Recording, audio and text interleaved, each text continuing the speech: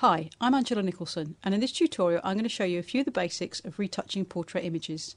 So you'll be able to turn an image like this into one like this. The cloning and healing tools are some of the most useful tools you can use when retouching an image. It's best to work on a new layer so that you protect your original image and you can reverse any mistakes that you make. So I'm just going to add a new layer by selecting layer, new, layer and that's just an empty layer. I can just click this icon here to make the layers palette visible. So you can see we've created a new layer already. The next step is to zoom into the image, so I'll just click on this uh, magnify button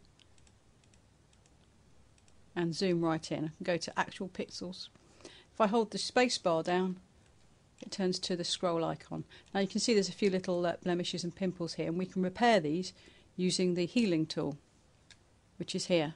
We just need to make sure that sample all layers is selected so that we sample from the image below. Just click on there and get a tick in the box. The healing brush needs to be a little bit bigger than the pimple that you're repairing so it's about the right size here. If I just click on it you can see it's automatically repaired it. I can just go around just repairing these odd little pimples. The healing tool is also useful for getting rid of stray hairs, perhaps like this eyebrow just here or this hair. You just click on it and wipe over and it will disappear. I'm using quite a large brush here, it would be better to use a finer one really.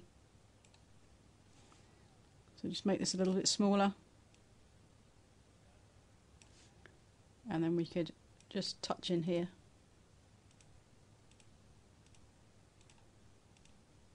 So I'm using quite a heavy-handed approach so you can see what to do. Obviously I'd advise taking a little bit more time and care when you're doing it. Now I want to tackle these minor wrinkles and slightly darker areas. Now I'm going to immediately create a new layer. Again. Now I'm going to turn the opacity of this layer down to about 30%. And with the clone tool selected, you can see I've got um, all layers selected here click Alt and hit the mouse button and then just sweep across these lines. Now if I turn the opacity up you'll see it's quite a heavy-handed approach. You can see those lines being covered but if I turn it down it's a bit more subtle. So just Keep resampling. Keep cloning. And carry on. If you wanted to get rid of uh, dark circles, you could change this mode up here to lighten. And using the same tool, just click Alt, go in and it will just lighten dark areas. And again, you can adjust the opacity so you can see more of what you're doing or less to make it a bit more subtle. For this image I'm going to apply a general skin smoothing treatment. As usual I'm going to work on a new layer and this time I'm going to use a duplicate layer. So I go to Layer, Duplicate Layer and there we go. Now I'm going to set the layer mode to overlay using this drop down list. And I'm going to invert the layer by pressing Ctrl I. Next I'm going to apply a high pass filter going filter, other, high pass. This filter is normally used for uh, sharpening images, but we're going to use it here um, to soften the image or sections of it because it's actually um, inverted. So um, the radius is 10, which is fine, so I'm going to hit OK. Now I'm going to apply some Gaussian blur using filter, blur, Gaussian blur. And if I just move that to one side, you can see as I increase the pixel size, the amount of blur is actually reducing. In this instance, I'm going to use a figure of about 3. You may want to use a slightly higher figure to have a more subtle effect. Now I just hit OK. Now I'm going to create a layer mask simply by holding the Alt key down and selecting the layer mask button here. There we go. You can see now that the uh, effect is all masked off and we want to start painting it in where we need it. So if I just select a brush um, with a white paint, then I can paint in areas that's a little bit of a small brush. Let's have a bigger brush with a nice soft edge. And then we can paint in where we want the softening effect. And you can see it's happening on the forehead there already.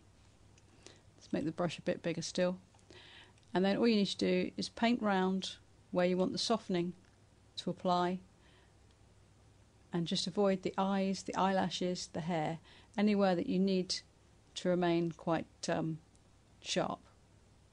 So eventually you can build up a mask in the shape of the face, which you can see appearing there on the right in the black box.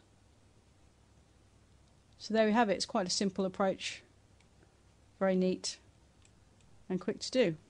Once you've finished painting in the mask, if you want, if you feel it's a bit too um, strong, you can reduce its opacity using this slider. So I can take it right down, you can see a few pimples appearing there, or I can push it right up and they're all uh, merging in. So it's up to you where you want to position it. And that's it. Whether you shoot RAW or JPEG files, you can actually do quite a bit of retouching using Adobe Camera Raw. For starters, there's a spot removal tool up here that we can use. Just click that. And this works in a very similar way to the cloning and healing tools. It's going to be helpful just to zoom in a little bit more first. Now I can use this slider to make the radius of the uh, brush a bit bigger. You see it's quite large. Take it a little bit lower. It's not bad. Maybe we go a little bit smaller.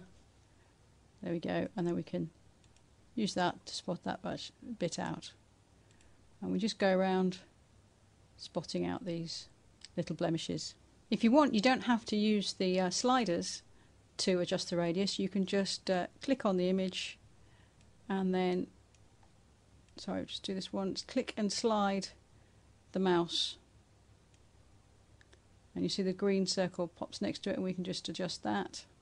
So basically you're just clicking and moving your mouse to adjust the size of those two circles.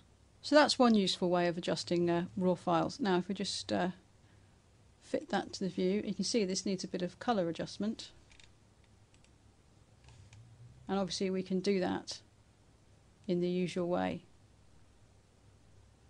That looks a lot better already, just adjusting the colour temperature. But we can also use the clarity control to adjust the um, local contrast on the skin.